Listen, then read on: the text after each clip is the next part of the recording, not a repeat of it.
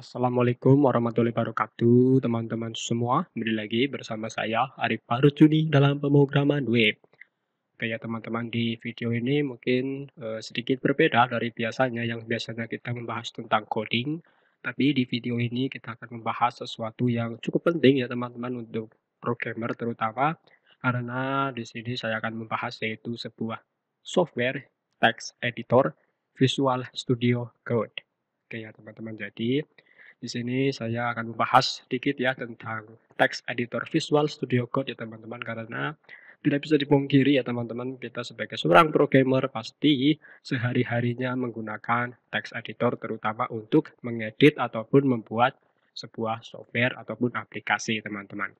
Nah, bagi teman-teman yang belum tahu ya, Visual Studio Code itu adalah sebuah software yang memungkinkan kita untuk membuat ataupun mengedit dari bahasa pemrograman ya teman-teman. Jadi text editor ini sangatlah powerful ya teman-teman dan text editor ini ringan dan handal ya dan dibuat oleh Microsoft ya teman-teman. Jadi Microsoft sendiri itu membuat sebuah software ini ya untuk mengedit ataupun membuat program dari bahasa banyak pemrograman ya teman-teman. Jadi mendukung bahasa banyak pemrograman untuk text editor ini ya teman-teman. Jadi di sini juga multi platform ya teman-teman. Jadi kalau teman-teman pakai software ataupun OS yang berbeda seperti Linux, Mac ataupun Windows itu bisa sangat bisa sangat digunakan untuk text editor ini teman-teman. Jadi tenang saja dan text editor ini juga mendukung banyak sekali bahasa pemrograman ya seperti JavaScript, Node.js ataupun yang lainnya.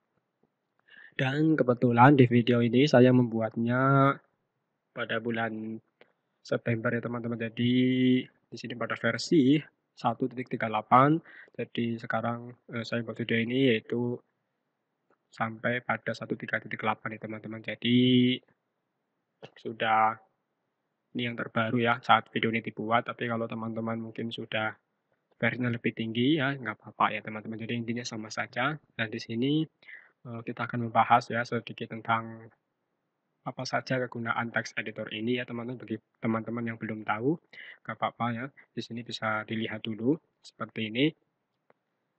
Sebuah fungsi-fungsinya ataupun tulis-tulisnya seperti apa. Nah dan biasanya teman-teman kalau teman-teman membuka ini pertama kali ini akan muncul welcome screen seperti ini ya teman-teman. Jadi di sini ada customize ya dari tools and language setting and building ya teman-teman. Jadi di sini tools and language mendukung bahasa pemrograman ya seperti JavaScript, TypeScript, Python ya dan lain-lain. Bisa dibaca sendiri di sini. Dan di sini juga ada setting ya dan key building install seperti Vim, Sublime, Atom. Ya, jadi teman-teman kalau sudah terbiasa dengan text editor seperti Vim atau Sublime ini eh, bisa mendukung shortcut-shortcut yang ada di dalam text editor sebelumnya ya teman-teman. Dan, dan di sini saya kebetulan dulu menggunakan Sublime ya untuk kesehariannya, tapi setelah saya menggunakan text editor ini saya nyaman dan akhirnya saya bisa menggunakan ini, tapi jadi sebelumnya saya menggunakan Sublime jadi bisa diterapkan di text editor ini teman-teman. Dan di sini juga ada color time ya, teman-teman bisa pilih sendiri nanti seperti apa. Oke, jadi seperti itu teman-teman untuk text editor ini ya teman-teman. Dan text editor ini ringan ya teman-teman. Jadi kalau teman-teman menggunakannya untuk beberapa jam mungkin ini sangatlah powerful ya teman-teman. Jadi ringan. Saya biasanya juga menggunakannya ini sekitar 8 jaman. Jadi ya stabil teman-teman untuk sebuah software seperti ini ya teman-teman. Dan ini ringan juga dan kita sudah bahas ya teman-teman dari tools and language, setting, color time. Teman-teman bisa coba sendiri nanti kalau sudah install text editor ini teman-teman. Oke ya teman-teman, jadi seperti ini ya untuk tampilannya, tapi di sini saya sudah menginstal ya teman-teman berbagai extension ya teman-teman seperti ini ada auto rename beautify, bracket fire, colorize ya teman-teman seperti ini. Dan di sini teman-teman bisa menggunakan ya material theme Nah, seperti ini teman-teman, material time. Jadi material time ini adalah tema untuk text editor ini ya teman-teman, karena defaultnya itu saya tidak terlalu suka. Oke, jadi bukannya saya membandingkan antara text editor satu sama text editor yang lain ya teman-teman, karena semua mempunyai selera masing-masing. Tapi eh, saya sarankan jika teman-teman bingung bisa mempertimbangkan untuk memilih text editor ini, teman-teman.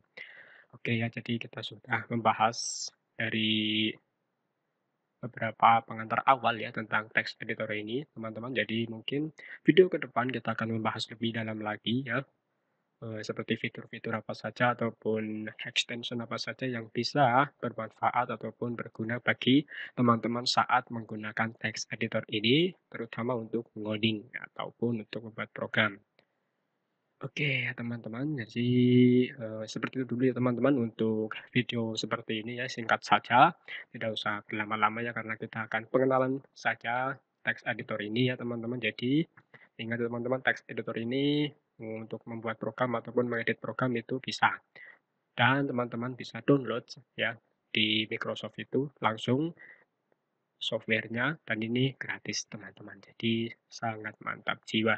Mungkin teman-teman menggunakan Sublime itu um, bisa berbayar ya teman-teman. Itu kalau nggak salah sih harganya ya bisa satu jutaan mungkin ya.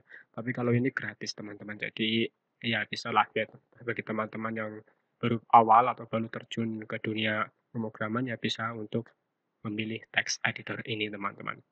Oke ya teman-teman jadi seperti itu dulu untuk pengantar awalan dari text editor Visual Studio Code ini. Semoga ya teman-teman mendapatkan wawasan ataupun pengetahuan yang baru dan jika teman-teman mungkin suka dengan video seperti ini, silahkan klik tombol like. Dan jika teman-teman suka dengan channel saya ini, silahkan klik tombol subscribe ya teman-teman. Oke teman-teman, jadi kalau ada request baru ya ataupun ada pertanyaan, silahkan tulis komentar di bawah. Oke teman-teman, kita lanjutkan lagi ya video-video di video yang akan datang kita akan membahas lebih dalam lagi, lebih detail lagi tentang text editor ini. Oke teman-teman, ya terima kasih telah menonton. Kita berjumpa lagi di video selanjutnya. Assalamualaikum warahmatullahi wabarakatuh.